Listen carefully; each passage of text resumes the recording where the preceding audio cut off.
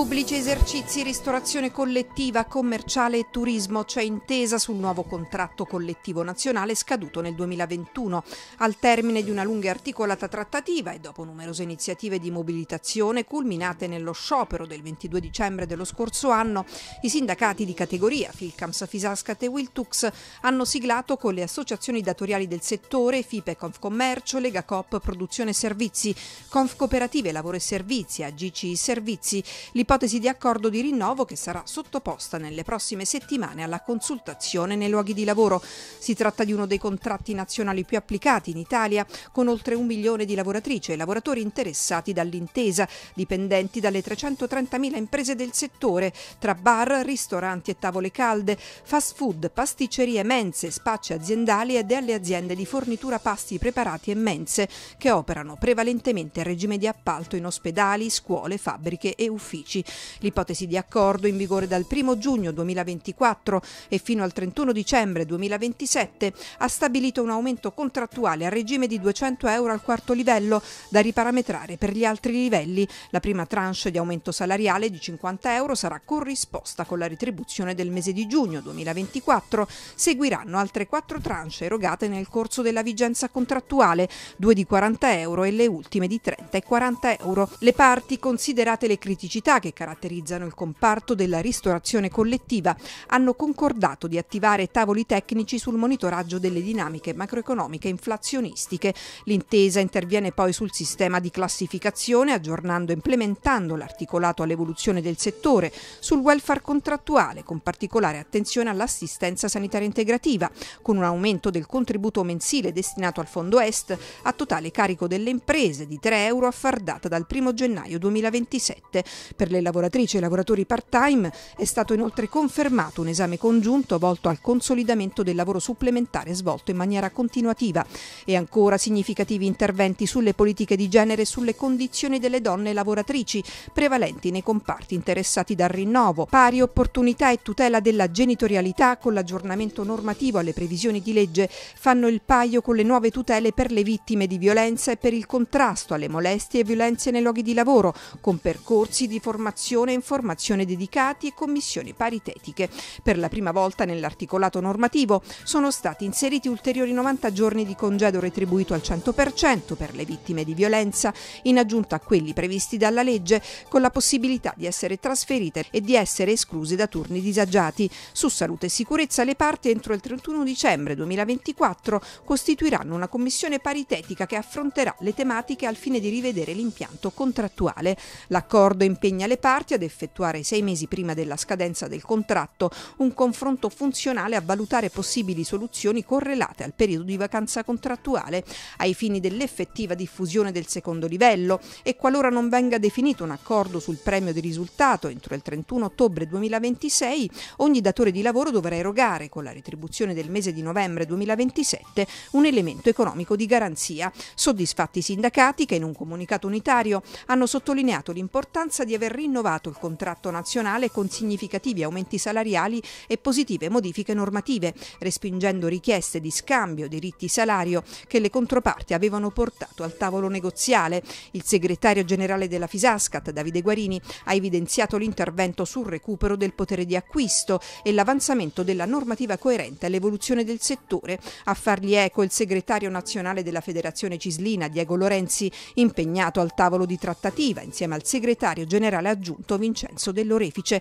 Il sindacalista parla di risposte apprezzabili non solo da un punto di vista economico ma anche normativo, con il potenziamento del welfare e di primari istituti della disciplina del rapporto di lavoro. Il nostro auspicio, ha concluso, è di completare con le altre associazioni imprenditoriali rinnovi contrattuali attesi nel macro settore del turismo, dove altre centinaia di migliaia di lavoratrici e lavoratori del comparto ricettivo alberghiero, dell'industria turistica, delle agenzie di viaggio e del comparto termale attendono risposte economiche normative.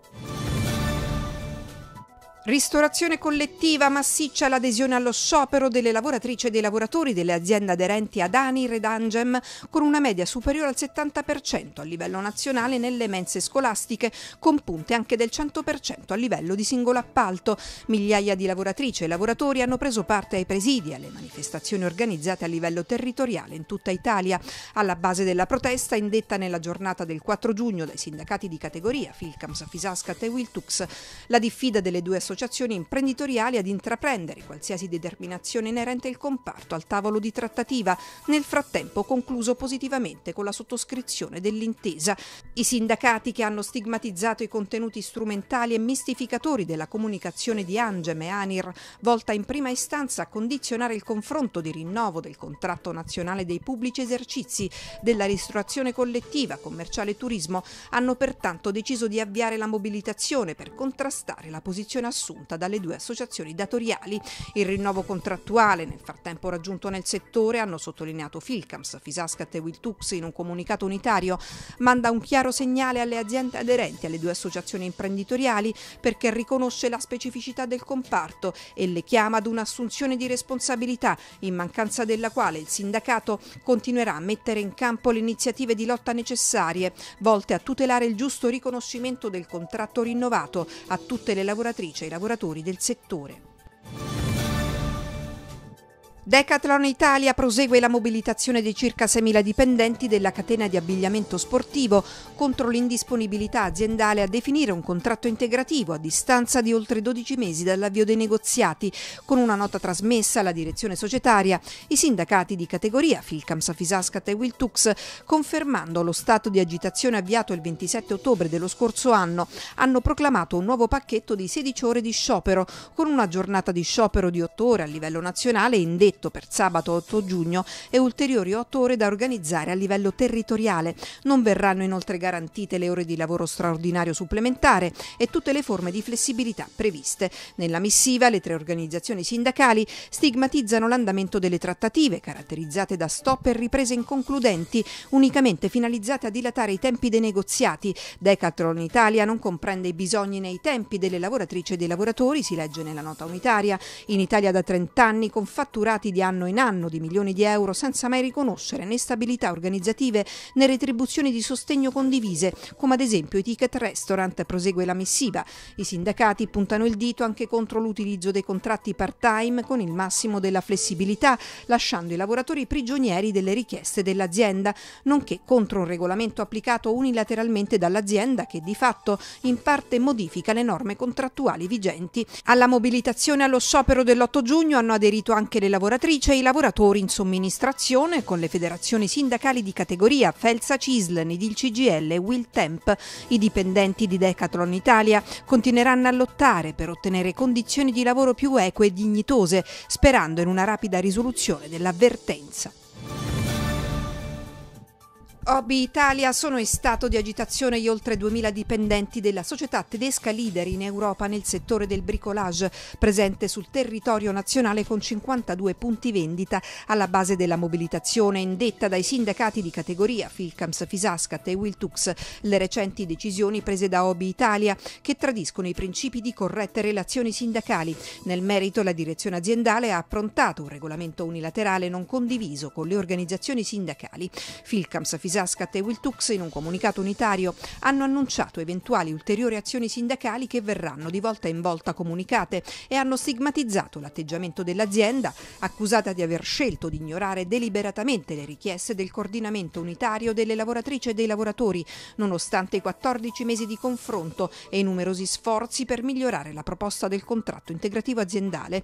Questo comportamento, prosegue la nota unitaria, ha minato gravemente il clima di fiducia necessario per una collaborazione collaborazione efficace e per un qualsivoglia percorso di condivisione. In attesa di valutare le iniziative da intraprendere, i sindacati invitano le lavoratrici e i lavoratori a non effettuare ore di lavoro straordinario e supplementare, con il blocco totale del lavoro festivo e domenicale, oltre il limite normativo delle 25 domeniche annuali. Filcams, Fisascat e Wiltux sollecitano l'azienda a rivedere radicalmente la sua posizione e ad avviare un vero dialogo costruttivo con le rappresentanze sindacali, riaprendo il tavolo delle trattative con l'impegno ad instaurare relazioni sindacali autentiche basate sul rispetto e sulla collaborazione.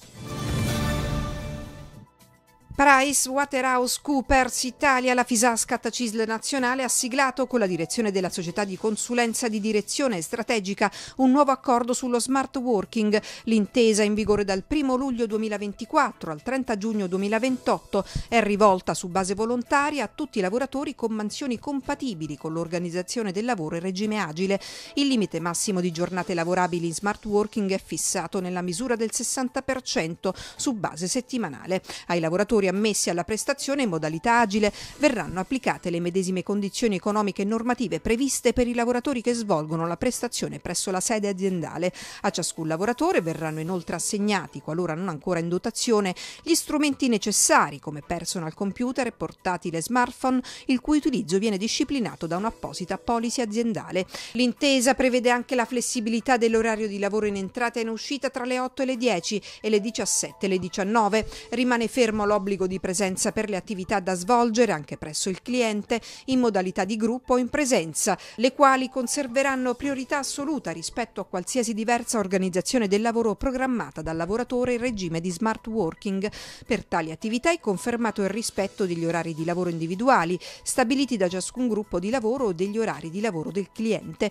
I lavoratori addetti al front office, con particolari mansioni o coinvolti in particolari progetti, sono tenuti a garantire fasce orarie di connessione giorni dalle 9 alle 13 e dalle 14 alle 18, ad esclusione dei lavoratori part-time che osserveranno l'orario concordato nel contratto individuale. In ogni caso resta ferma la pausa pranzo di un'ora o di almeno 30 minuti e la durata massima della giornata lavorativa è fissata in 12 ore per 48 ore settimanali massime. Al di fuori delle fasce orarie di lavoro concordate, il lavoratore è tenuto a disconnettersi nei periodi di riposo giornaliero e settimanale previsto dalla legge. Il lavoratore e la società potranno inoltre recedere dall'accordo con un preavviso di 30 giorni. L'importanza dell'accordo è ribadita dal funzionario sindacale Daniele Meniconi, impegnato per conto della Federazione Cislina nel confronto con l'azienda.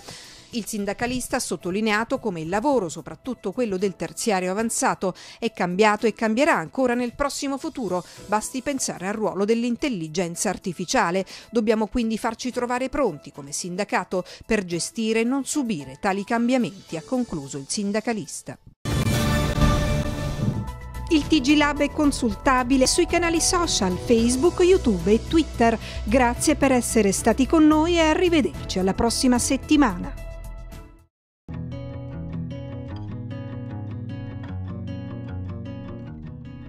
Lavoratore autonomo o un libero professionista che opera nel settore del commercio, del turismo e del terziario? Lo sai che hai la possibilità di incrementare il livello della tua pensione futura? Come? Aderendo a Fonte, il fondo di previdenza complementare del terziario. Basterà andare sul sito www.fondofonte.it compilare l'apposito modulo, allegare i documenti necessari ed inviare il tutto tramite PEC all'indirizzo protocollofonte-legalmail.it. Una volta perfezionata l'adesione, riceverai una lettera dal fondo con le indicazioni relative al tuo codice aderente e alle modalità di accesso all'area riservata, in cui verificare la tua posizione previdenziale. Ti stai chiedendo come versare a fonte? Semplicissimo. Potrai versare i contributi in qualunque momento dell'anno attraverso la compilazione dell'apposito modulo ed effettuando il relativo bonifico bancario, o se preferisci facendo tutto online dalla tua area riservata. Quanto puoi versare al fondo? Il versamento annuale non può essere inferiore ai 1200 euro.